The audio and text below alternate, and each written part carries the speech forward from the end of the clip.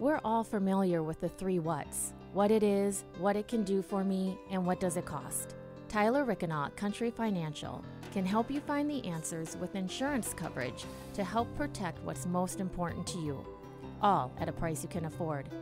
So while you're juggling work and kids while trying to keep an eye on your financial future, Tyler Rickenaugh, Country Financial, will make sure they are the first ones there when you need them most. The kids are back to school, and your schedule is busier than ever. From daycare pickup, doctor's appointments, sports, and college tuition, a parent's signature is a powerful thing. Have you ever stopped to think? What would happen if you weren't able to provide one? With thoughtful estate planning, you can make sure that your child's health and education needs are met in the event of your absence due to a temporary incapacity or even death. The estate planning team at Hurley Burish is here to help. Fostering deeper relationships, influencing behavior change, developing resilience. You're about to start winning. Here is your host, Christine Bright. Welcome to the Parenting Game. We're glad you're here with us for this program, and I'm your guest host today, Dan Presser. You know, being mentally well improves your quality of life, it helps you cope, and it boosts resilience as well. Mental wellness is essential for all of us, regardless of our age, race, or our gender. Now, this episode of Parenting Game, we're going to discuss men's, women's, and family mental wellness with a panel of experts, and they are here with us now Donald, Heather, and Christine. Welcome to the show today. And Christine, obviously, you're usually here in this seat. Today, you're letting me graciously sit in as your um, guest host today, but just want to talk to you quickly. You are a parenting and family coach, obviously. Mm-hmm. Uh, how do you help families with mental wellness? Well, a lot with you know mental wellness is scheduling. It's transitioning. It's just being aware of how your family is functioning. And a lot of times, parents are overscheduled and you don't realize it. You're just in that mix and you're going, going, going. So I come in as a coach and just shine spotlights on areas that are causing the most tension. And we talk about those and how we can problem solve those. And two, sometimes, you know, I end up sliding over with the parents once we get those routines and things set. We slide over and now start paying attention to what haven't you been doing for yourselves as like a couple or individually? And get those how can within the family and everything that we have going on how can you still do things that will improve your mental wellness? And heather tell us about your mental health coaching with women.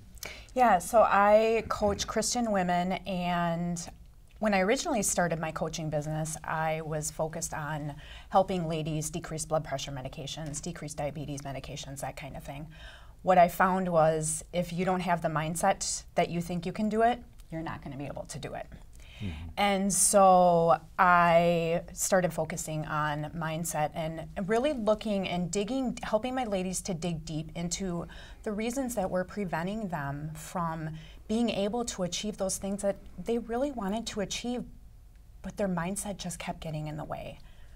And Donald, I understand you work with men who might feel a little bit stuck. Mm. Uh, tell us about your work with those men. Yeah, so uh, men can be stuck for a number of different reasons. So I'm a therapist and I'm a coach as well, and I consider myself a mentor. So sometimes getting unstuck involves going back, and that looks a little bit more like therapy. And sometimes it's about moving forward, which is really uh, coaching orientation.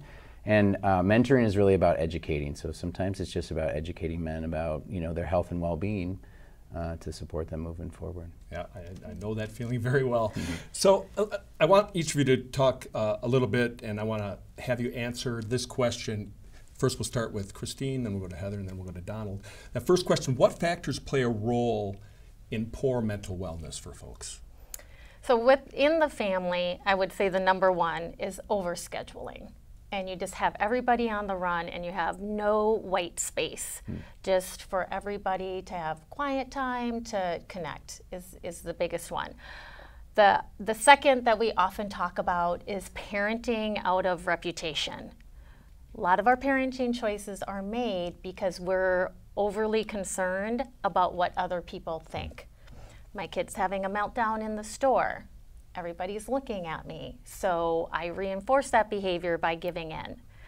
I would say those are the, the top two stressors whenever I talk to the family is that overscheduling and then being overly concerned about how people are viewing your parenting. Ticked a lot of boxes for me, I know on that. Mm-hmm. How about you, Heather? The, the three main things that come to mind with mindset for, for my Christian women is number one, living in fear fear of judgment, fear of the unknown, fear of failure, and even sometimes fear of success.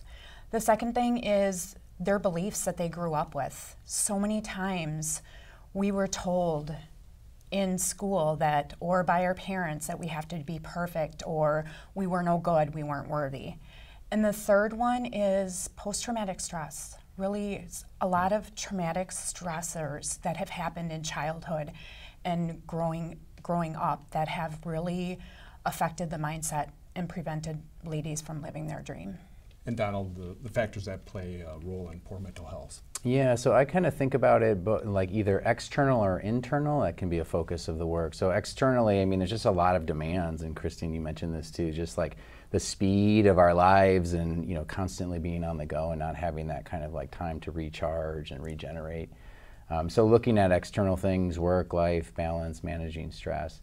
And then internally, and you mentioned this around mindset and just negative thinking and kind of how we get in our own way. And so sometimes, um, you know, addressing some of the ways that we think and feel can kind of unlock us from, um, you know, being stuck.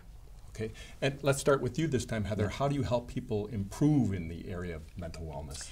I help them to really look at where those beliefs came from and where those fears came from. So that because once you can look at where they came from you can heal that so that you can create new stories for yourself. And then the other thing is with the post-traumatic stress i do something called timeline therapy which helps get rid of the limiting beliefs helps heal the post-traumatic stress so that they are able to move forward with their life. Timeline therapy, just kind of explain that a little bit sure. more. So, timeline therapy is focused on looking at the events that happened that caused the trauma. It's focused on five main emotions fear, sadness, hurt, and anger, and guilt. And we never live, relive the events. What we do is we look at the events and take the positive learnings from the events to allow us to be able to move forward so that we can, when we think about those events, we don't have that anger, that sadness, that fear, that hurt, that guilt. It's so easy for us to, to kind of dwell on the negative mm-hmm. too often. I know. So. I think I need to sign up for that. Donald, how about your answer to that? Well, I think it's a really powerful technique, the narrative therapy. Um, for me, uh, broadly, awareness and education. Uh, Albert Einstein has a quote I love, it, and it, it, it's um, something to the effect of um, the no problem can be solved by the same consciousness that created it. And for men, we get socialized to be just really lone wolves. And so I find that in my work with men, just having a conversation can kind of raise awareness. And then, you know, my clients can have new perspective on, you know, how they're approaching their problem or their issue. Um, so, um, yeah, raising awareness and then education is a big piece too. Again, because how men are socialized, we often don't know that we have what we don't talk about our inner lives, and we don't know that we have these resources that are available. Or communication is a big piece, and um, so kind of just whatever's needed. Really. So easy for us to kind of fall into that. I am a rock. I am an yes, island kind yeah, of mentality. Yeah, stoic you know? idea. Yeah, for sure. And how about the folks you work with, Christine? What what's a role in the, you know their poor mental health? So as I said, again, it's that overscheduling is one. The you know, um, parenting out of, you know, reputation, what other people are going to think, and what there there's these stigmas on what we think parenting should look like. So with a lot of my clients, they get stuck in the fact of mm. I need to enjoy doing everything with my kid and not acknowledging that there's some pieces that aren't my favorite. That my I have to be perfect and if I'm perfect, then I'll have these great kids.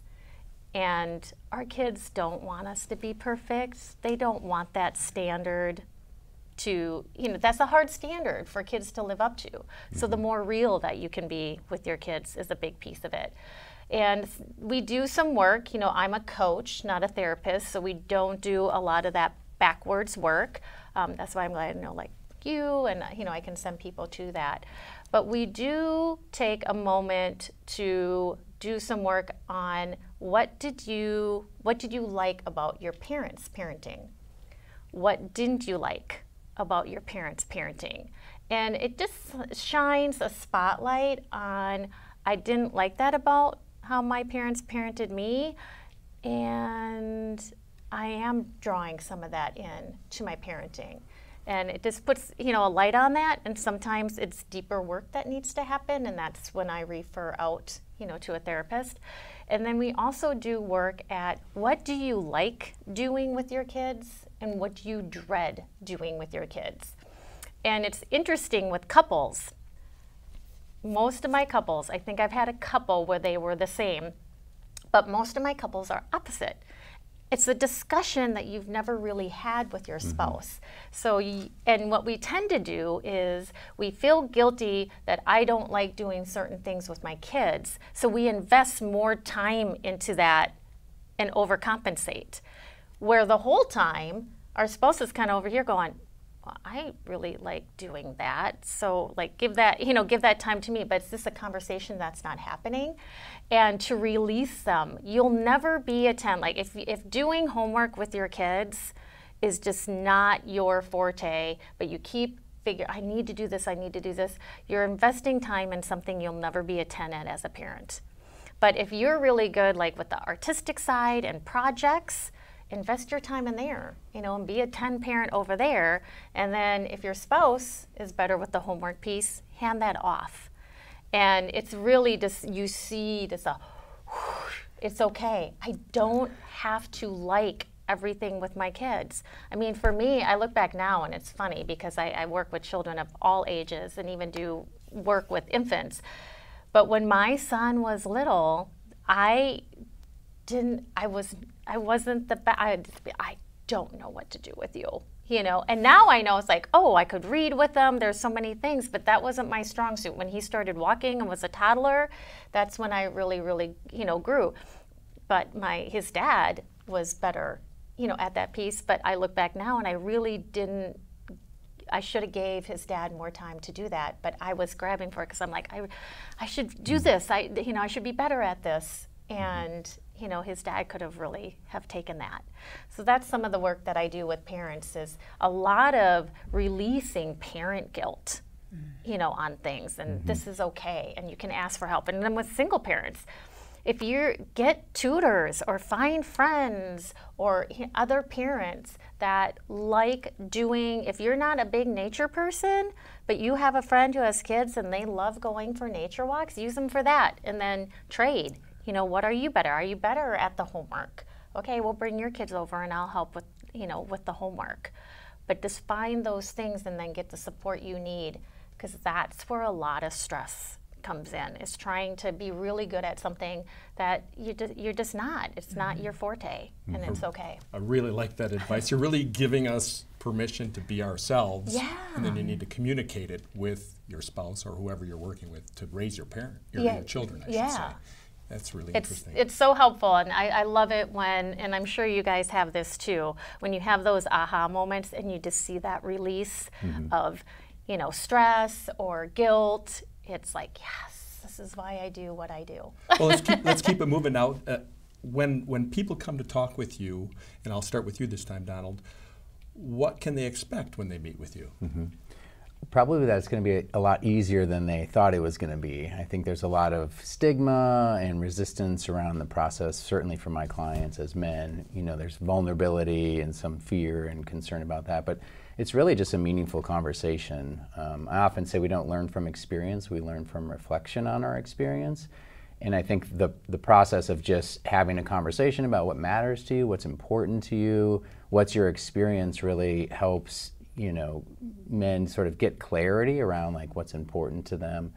Um, and so it's really kind of just a, a, a conversation. Uh, often it's not a big heavy lift, uh, which I think a lot of people think the process can be But even a conversation for some people might seem a little bit overwhelming. at Yeah, times. yeah, it can be. It, yeah, for sure. And especially for men, I'll, I'll keep saying this because we are uh, such lone wolves, you know, but we're too close to ourselves, you know. So there's, you know, there's a little bit of resistance, but that's true for anything. Anything that's worthwhile and meaningful, you know, you have to lean into it a little bit. So, but I find often with my clients, once they get that initial sort of session done or we have a conversation, it's, it's not what they thought it was going to be, and they really open up to the process and, and see the value in it.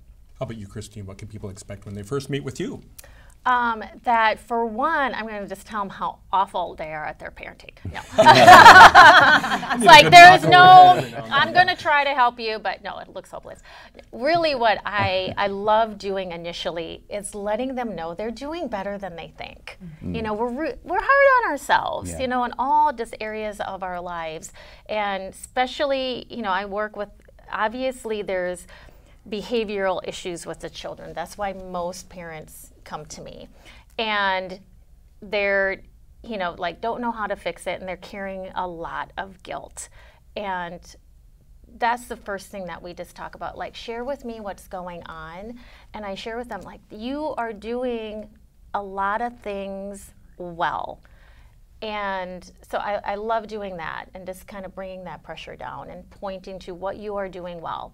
And then we look at, because we often don't realize as parents, because they'll come to me and say, I have these explosive behaviors. I don't know why, and they're super random.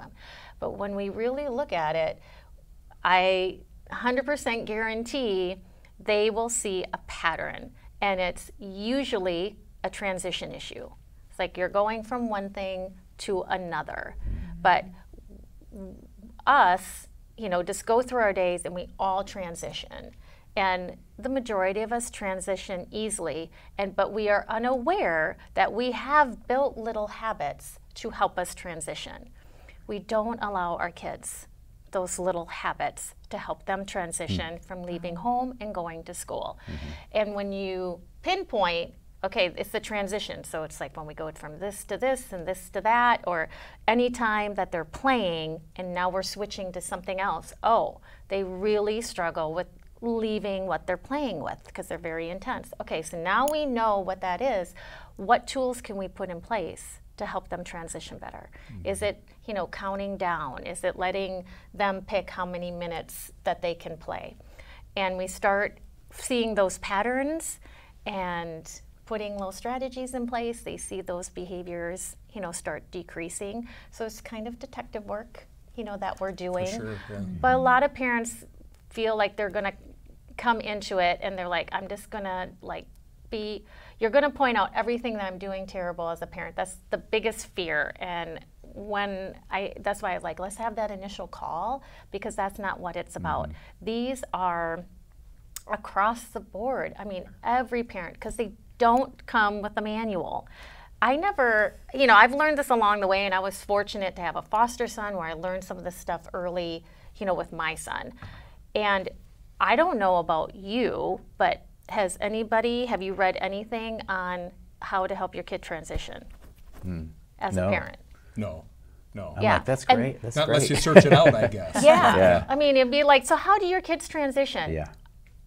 I, fine, I guess. I don't know hmm. because it's just something we don't pay attention to. Yeah. And once we learn about it, that okay, they're transitioning, and you start noticing in yourself little habits that you've built. For me, it's a cup of coffee in the morning that helps me transition out the door. I can honestly say I'm a little eh, if I haven't had my cup of coffee. Well, let's build that for your kid. Maybe it's getting their blanket, their wa- who knows? They'll Yeah. figure it out What's for their cup of themselves. coffee? Yeah, Yeah. to, to get through the door. Yeah, so that's what's fun about doing it because it isn't about all the stuff you're doing wrong. It's about the stuff nobody knew because you didn't give a manual. And now you're learning and you're going to do better. Mm-hmm. And that's why I say kids don't come with a manual.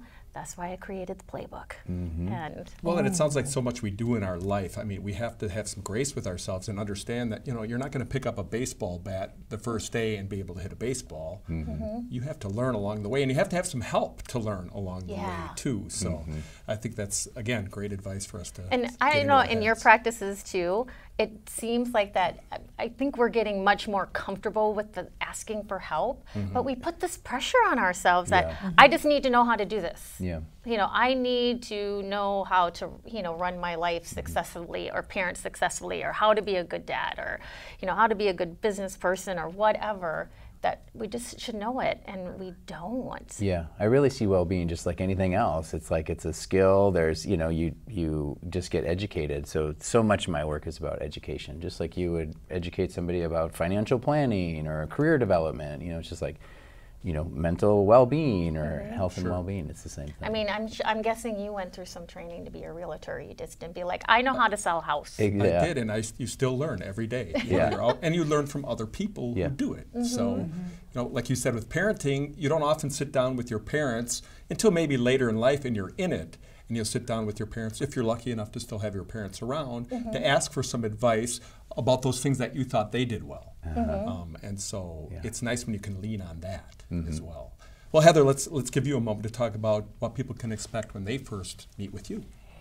You know, so many times when they first meet with me, they um, they feel guilty for investing that time and that money into themselves, and so it's helping them to see that you can't pour from an empty cup. And most of the ladies, by the time they come to me, they're just they're so overwhelmed in life. They they don't know what to do next. They don't know where to go next, and so helping them to see that this is the best step for you because you are starting to take care of yourself. And what I always tell them too is one thing like when you're on an airplane, when they do the whole spiel about the oxygen, Yeah. Mm-hmm. what do they tell you? Put yours on. Put your mm-hmm. mask on 1st mm-hmm. before your kids, before anybody else. Because if you can't put your mask on first, you can't take care of anybody else. And so it's helping them to see that it's okay to put your mask on first. Mm. And to also just really look at the the positive things that have happened in their life so that they can start to focus on that. Because so many times we focus on all of the negative things and taking that time to focus on yeah i, I really did do really well in life. I really accomplished a lot Yeah. and so mm-hmm. helping them to see that I really like that analogy of the, the airline instruction because it's so mm-hmm. true, right? You always think, no, I should help them first, but you gotta you gotta be healthy. Mm-hmm. Yeah. yeah And speaking of healthy, you guys are all very busy. You have your businesses, you have things you're doing, you have children, things like that. What's one thing you do in our time left? What's one thing each of you do to stay healthy? And then at the end of us, let, let folks out there who are viewing today know about your website, where they can find more information about you. And, and I want to start this time with Christine. Um, so the things that I do to stay healthy, for one, is working out is a big part of it. Um, I have been struggling with my routine, and I realize I am not a morning workout person. So I've given myself grace in that. I'd rather work out late at night, even if it's eight o'clock at night. So I've switched, you know, my routine to do that because you know the research is like first thing in the morning you get all those endorphins. Not for me. No, I like doing it at the evening, so I've given myself grace in that. And you know, eating and staying hydrated, um, water. I've been. That's one thing that I've really paid attention to now is how much water I take in. And boy, did it just help so many health issues that I was having.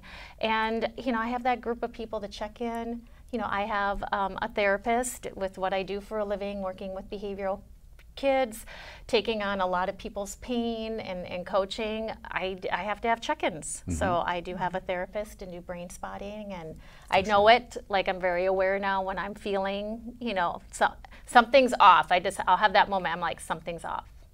I need to call my therapist, you know, and Yeah. just, you know, just sort that stuff out. It's funny what you take in and uncover. And it's like, oh, that's why I was feeling funky. I had, there was this interaction like weeks ago, and I didn't realize how negatively it had impacted me. So it's been really helpful just to, to be um, confident and okay with, I'm never going to get there. you know, it's okay to, to Yeah. be checking in constantly. Yeah, it's good to have that cleansing, so to speak. Yeah. How about you, Heather? Definitely exercising, same with me, and also water intake. Um, yeah, I think those are some of the main, so important. You know, when you when you fuel your body with the good stuff, your body it's it's like fueling your car with gas.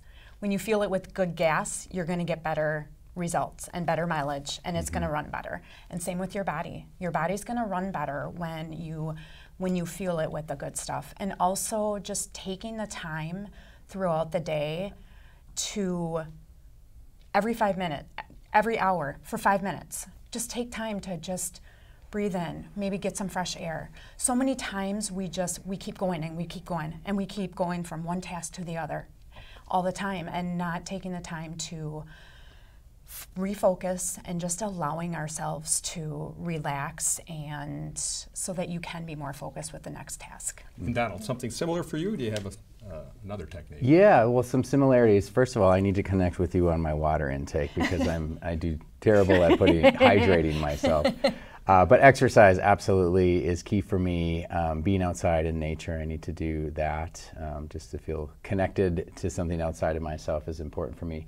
Um, but one strategy that I love to do is kind of being really intentional about segmenting my day. So I get up early in the morning, and that's just kind of time for me to do my reflection and just to kind of move at a at a really slow pace. Um, and then get my kids out of the door, and then I spend time, you know, working, and then I have in during sometime during the day, like an, I call it my hour of health, and I just like don't do anything because I could just work all the time. I could just like mm-hmm. constantly be working. Mm-hmm. So I need to be really intentional. So I have these touchstones throughout my day, and then my afternoon is more work, and then in the evening I spend time with my family, and so just being really intentional about like kind of the rhythm of my day is important for me. Great. Mm-hmm. And now we're, we're almost out of time here, but I just briefly want you all to tell us about your websites or where folks can find you and more information about you. So, Donald, let's start with you. Sure, I'll go. Uh, onpurposementoring.com. Yeah, that's my website, so you can find out more information there. All right. And Heather? Yeah. Uh, Heather rncoach.com. You can find out more information there. And Christine? And parentinggamewins.com, and you can schedule a free 30 minute session when you go to the website. All right. Well, thank you to all of you, Donald, Yeah. Heather, Christine. thanks, Great to have you on the program today, and thank you for allowing me to be the guest Well, host today, thank you. You're amazing. You make me nervous. Take All over right. my job. and, and thanks to all of you for watching the Parenting Game today. I've been your guest host, Dan Presser. We're all familiar with the three whats what it is, what it can do for me, and what does it cost. Tyler Rickenaut, Country Financial, can help you find the answers with insurance coverage to help protect what's most important to you, all at a price you can afford. So while you're juggling work and kids while trying to keep an eye on your financial future, Tyler Rickenaut, Country Financial will make sure they are the first ones there when you need them most. The kids are back to school, and your schedule is busier than ever. From daycare pickup, doctor's appointments, sports, and college tuition, a parent's signature is a powerful thing. Have you ever stopped to think? What would happen if you weren't able to provide one? With thoughtful estate planning, you can make sure that your child's health and education needs are met in the event of your absence due to a temporary incapacity or even death. The estate planning team at Hurley Burish is here to help. Thank you for watching The Parenting Game. All episodes of The Parenting Game are available on demand at sunprairiemediacenter.com.